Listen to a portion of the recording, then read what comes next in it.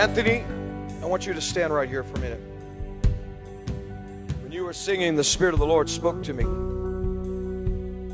And there are things that your parents have prayed for even before many years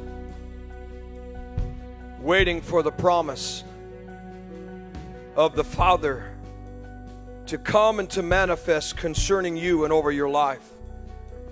Even through times of troubled waters, they stayed true to their prayers. Now you're coming into the season of those prayers culminating together. And it shall be as it would with great force. And sudden changes are going to take place in your life that are good because a culmination of the prayers that have now come to the agreement of your obedience.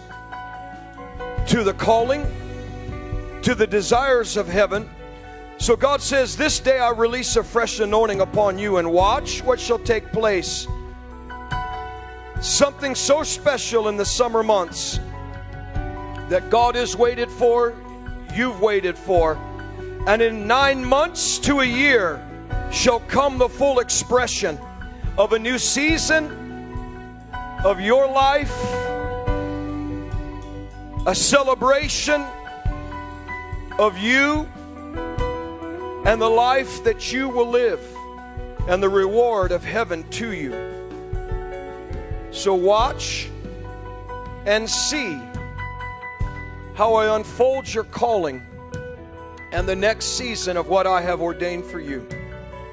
For God says, I'm going to use your voice because there's a strong teaching grace. There's a pastoral heart on the inside of you.